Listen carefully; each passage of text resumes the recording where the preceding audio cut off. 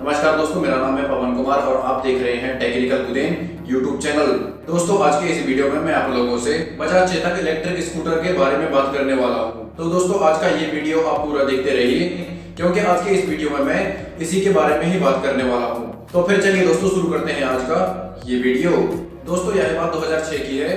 जब बजाज ऑटो ने अपनी लोकप्रिय स्कूटर बजाज चेतक को बंद कर दिया था। दोस्तों, कंपनी का यह फैसला बजाज चेतक के चहेतों के लिए एक झटके से कम नहीं था।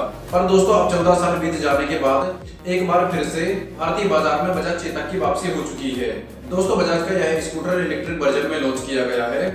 जिसकी दोस्तों शुरुआती कीमत एक लाख रुपए है, वहीं दोस्तों इसकी प्री बुकिंग की बात करें तो तो दोस्तों इसे आप 15 जनवरी से प्री बुक कर सकेंगे। एक रिपोर्ट के मुताबिक दो हज़ार रुपए में कंपनी की वेबसाइट से चेतक इलेक्ट्रॉनिक स्कूटर को बुक किया जा सकेगा।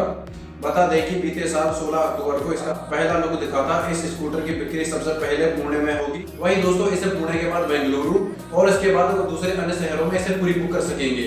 अब दोस्तों, इस बजाज चेतक स्कूटर के फीचर्स की बात करें तो तो दोस्तों, यह बजाज चेतक इलेक्ट्रिक स्कूटर दो वेरिएंट इको और स्पोर्ट मोड में मिलेगा। दोस्तों, इसके इको मोड में पंचानवे किलोमीटर की रेंज मिलेगी, जबकि स्पोर्ट मोड में यह स्कूटर पचासी किलोमीटर की रेंज तक दूरी तय करेगा। यानी दोस्तों, अगर आप इसे पाँच से छह घंटे इस स्कूटर को चार्ज कर लेते हैं। तो तो दोस्तों, यह स्कूटर आपको पचासी से पंचानवे किलोमीटर की रेंज की दूरी तय कर सकता है।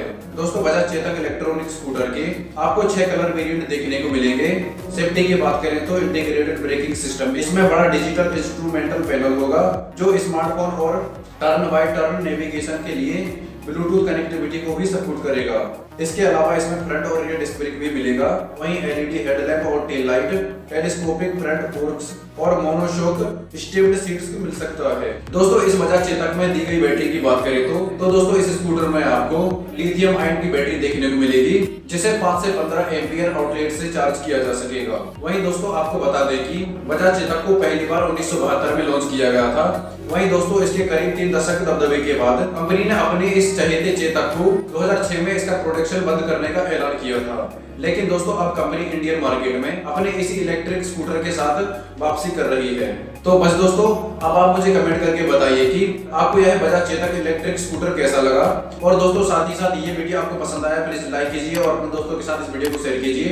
और अभी तक इस चैनल को सब्सक्राइब नहीं किया तो प्लीज़ सब्सक्राइब कर लीजिए और पास बेल आइकन को दबा दीजिए क्योंकि मैं इसी तरह की लेटेस्ट टेक्नोलॉजी वीडियो लेकर आता रहता हूँ। जय हिंद बंदे मातरम।